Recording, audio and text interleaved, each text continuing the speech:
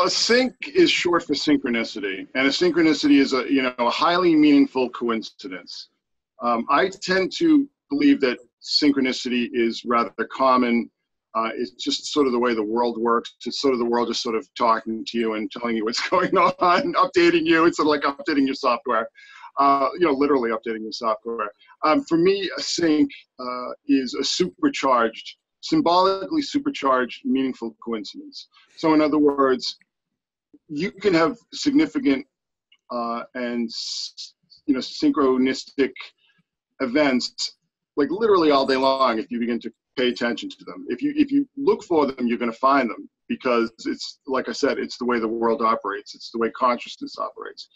Um, but then, it, you know, there are like alerts. It's sort of like you know when you get these like amber alerts or silver alerts on your phone. It's like my I sort of reserve sync. You know, there's sort of minor syncs, what I call guppies, and then there are major syncs where it's like this is the alert. This is you know the the, the alert broadcast system sending you a message that you really need to pay attention to. You know, it's funny that you would throw Amber Alert in there because we're going to have to pull that out and deal with that separately in terms of the manufactured alerts and the manufactured um, entrainment that we get. But, you know, the, the thing I want to draw out on the sync is that I think a lot of people get the sync at the level that you were speaking about it right then in terms of, wow, the universe is sending me a message, 11, 11. And I'm not putting that down because I think that's real.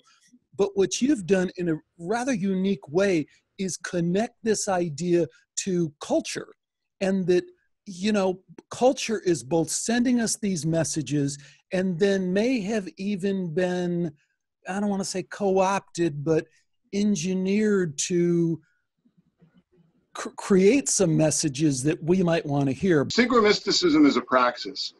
Um, there's a bit of controversy over who actually created the term.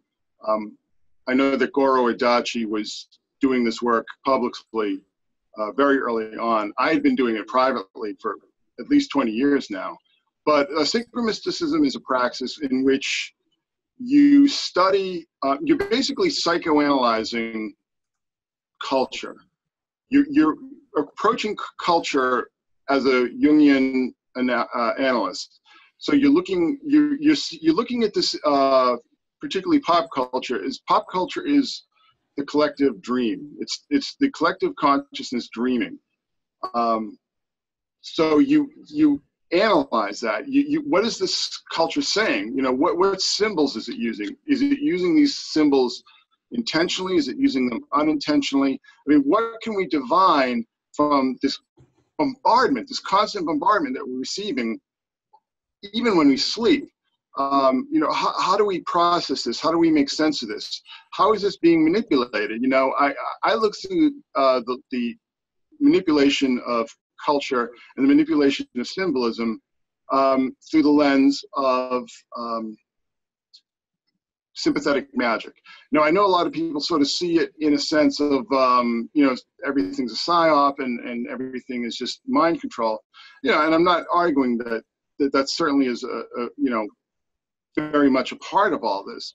But I see it more as um, a, a, function of sympathetic magic. And sympathetic magic is when you try to um, appropriate, you know, the symbols and the themes of the power that you're trying to draw into yourself.